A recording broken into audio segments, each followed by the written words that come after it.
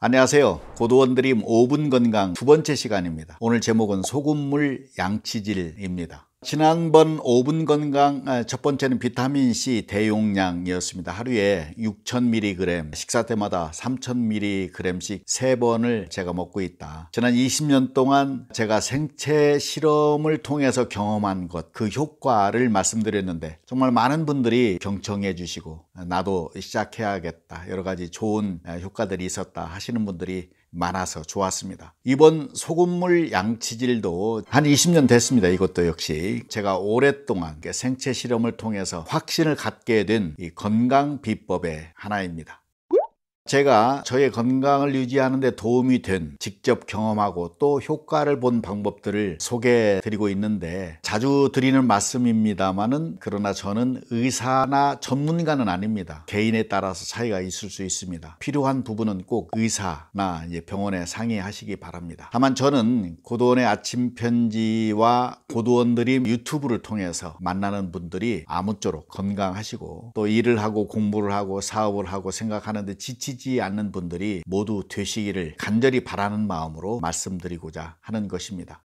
우리가 흔히 행복하고 건강한 삶을 말할 때 오복을 갖추었다. 오복을 누린다. 이런 표현을 합니다. 그 오복이라는 것은 뭐 잘 아시는 대로 오래 장수하는 것, 살아가는데 불편하지 않을 정도의 그 부를 갖추는 것, 강령한 것, 육체적 건강뿐만이 아니죠. 마음의 건강까지 갖춘 것. 덕이 있고 고통 없이 평안한 모습으로 세상 소풍 마치는 것. 이런 것을 다섯 가지 오복이라고 하죠. 그 중에 이 육체적 건강을 가리킬 때 빼놓을 수 없는 것이 치아 건강 건강입니다. 그래서 치아 건강이 오복의 하나다 이런 말을 합니다. 나이가 들수록 절실히 느끼는 것이기도 합니다. 요즘에 젊은 분들 또 어린 친구들까지도 예전보다 더 치아가 약해졌다고 합니다. 그리고 정말 안타깝게도 열심히 일한 사람들 가운데 어느 날 갑자기 두룩 이가 빠지는 경험을 하시는 분들이 더러 있습니다. 얼마 전에 이게 문재인 대통령이 쓰신 운명이란 책을 읽다가 발견했습니다. 당시 청와대 정무수석으로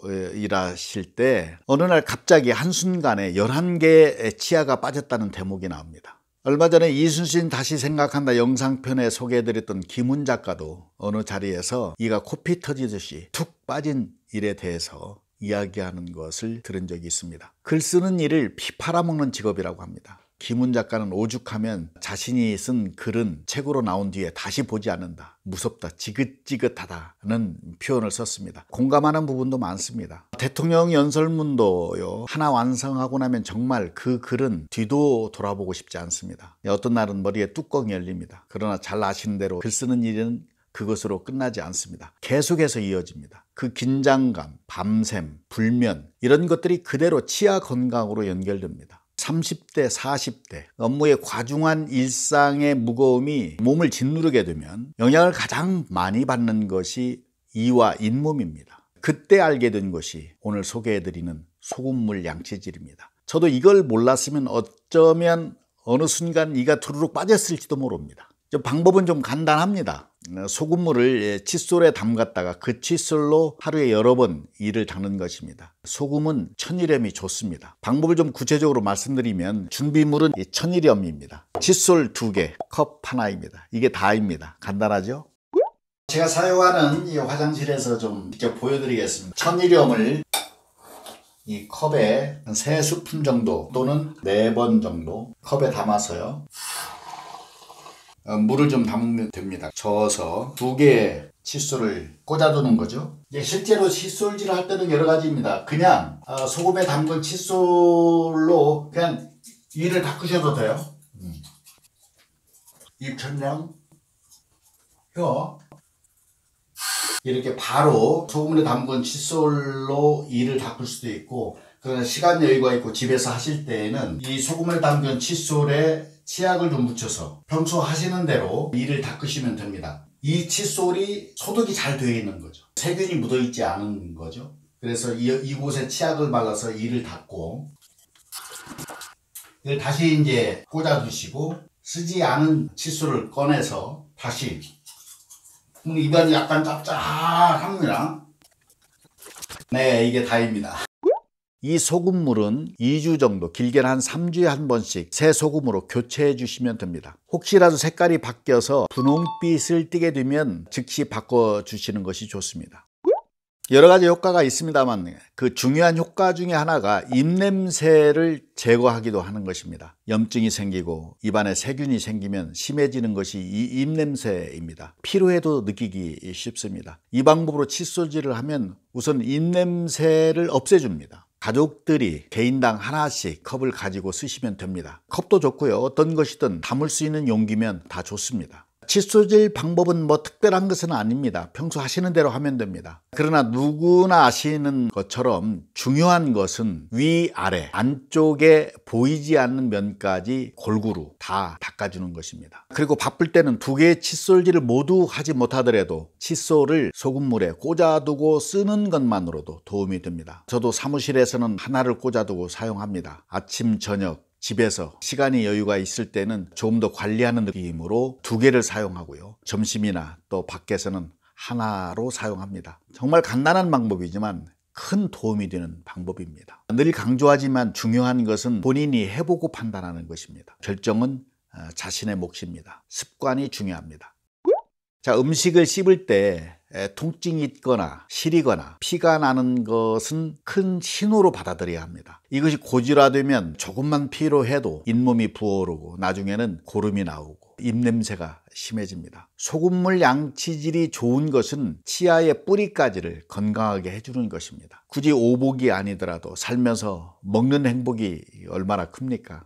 하루 중 맛있는 식사를 하는 것, 가끔 달콤한 간식을 먹는 것, 아침에 커피 한 잔 마시는 것, 저에게도 아주 중요한 일과입니다. 저는 생밤을 좋아합니다. 그리고 누룽지도 아주 좋아합니다. 그런데 이 먹고 뜯고 씹고 마시는 즐거움에 치아나 잇몸이 아프면 그런 소소한 행복은 날아가 버리는 것입니다. 더구나 잘못돼서 갖가지 치주 질환으로 고질화돼 버리면 그 고통과 불행감은 설명하기 어렵습니다. 치아 건강을 잃으면 정말 그 자체로 예, 불행입니다. 스트레스 정도가 아닙니다. 고통입니다. 그래서 치아는 단순히 음식을 씹고 먹는 도구가 아니라 우리 몸과 삶, 모든 일상과 정신 에너지를 보충해주는 아주 중요하고도 핵심적인 역할을 하고 있는 것입니다. 치아와 관련된 상식 몇 가지를 좀 다시 요약해 보도록 하겠습니다. 생각보다 잇몸병으로 고생하시는 분들이 놀랄 만큼 많아지고 있습니다. 20대, 30대 젊은 분들도 마찬가지입니다. 어릴 때는 흔히 충치를 경험합니다. 돌이켜 보면 오늘 이 소개해드린 이 방법이 이 충치도 예방할 수 있지 않았을까 하는 생각이 듭니다. 어릴 때부터 가족과 함께 사용하면 도움이 되리라 생각합니다. 이 충치를 잘 넘겨도 어느 시기를 지나면서 이른바 풍치가 생깁니다. 치주병, 치주 질환, 흔히 듣는 치아 질환입니다. 이 치주 질환은 성인이 되면서 나타나고 노화와 더불어서 악화되기 쉽습니다. 가장 큰 원인은 두말할 것도 없이 피로와 스트레스입니다. 그리고 흡연, 식습관, 음주에 따라서 더 악화됩니다. 이 치주병은 치태라는 것에서 시작됩니다. 음식을 먹고 칫솔질을 하지 않으면 이와 잇몸 사이에 끼어 있다가 치석으로 바뀌고 그 치석이 오래돼서 치아 뿌리까지 영향을 미치게 되는 이른바 치주병에 걸리게 되는 것입니다. 이 치주병의 현상 중에 중요한 것이 염증입니다. 잇몸에 고름이 생기는 것이죠. 피가 나오고 악취가 나고 고름이 잡히고 그 과정에서 혈액을 오염시키고 이 오염된 혈액이 뇌의 건강까지 해칠 수 있습니다. 여기에 관련된 임상 연구 자료들이 아주 많습니다. 당뇨, 고혈압, 호흡기 질환, 동맥경화, 심근경색 같은 심각한 질환에까지도 영향을 미칠 수 있습니다. 정말 오복 중 하나가 치아 건강이 아닐 수 없습니다. 저는 지금 그래도 치아가 건강한 편입니다. 아직까지는 그렇습니다. 아, 사과를 통째로 사각사각 씹어 먹을 수도 있고요. 생밤도 오도독 씹습니다. 굳힌 누룽지도 어, 먹는 것을 정말 즐겨합니다. 그래서 주변에서 가끔 가까운 사람들이 이 누룽지를 우두둑 맛있게 잘 먹는 저를 부러워하기도 합니다. 그래서 저의 치아 건강의 비결이 뭘까 생각하고 오늘 5분 건강의 주제로 삼은 것입니다.